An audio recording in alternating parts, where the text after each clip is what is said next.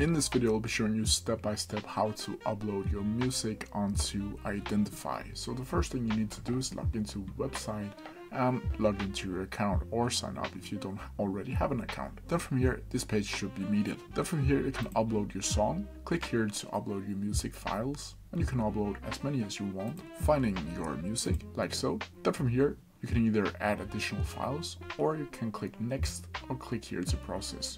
Need to be aware that they only accept MP3, WAV or FLAC files. But when you're done, you need to click next and as you can see now the uploading process is there and now you need to prepare the metadata. And to do that, you simply need to click on the song that you just uploaded.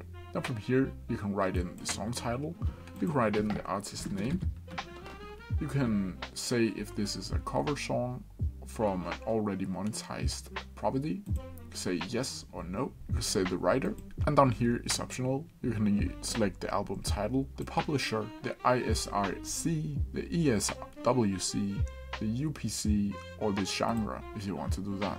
Then from here you just need to click save and now you can click submit now. Then you need to click down here to begin approval. Then you can take click start, click in your first name, click in your last name, click in are you associated with any PROs in either USA, Canada or UK. You can check out if you have submitted tracks that is distributed onto Apple Music, Spotify or Amazon Music, click yes or no.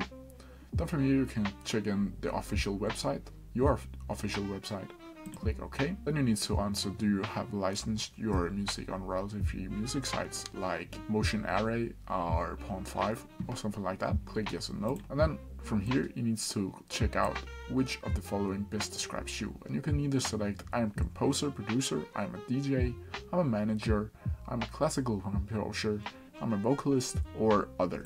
Click OK. Then from here, are you gonna are you are there any cover uploads from songs? Click yes or no. Do you license your music online via Audio Jungle, Pond5 BeatStars, etc.? Click yes or no. And then from here you need to click this and here you need to make uh, the stem video and upload to a drive Google file. So Identifyy team can identify that it's actually you who has posted or created this song. When you've done that, you just need to click OK and then you have submitted the song for Identifyy. But that's how you do it. If you have any questions about it, please leave them down in the comment section below and I'll try my best to answer them as quickly as possible. See ya!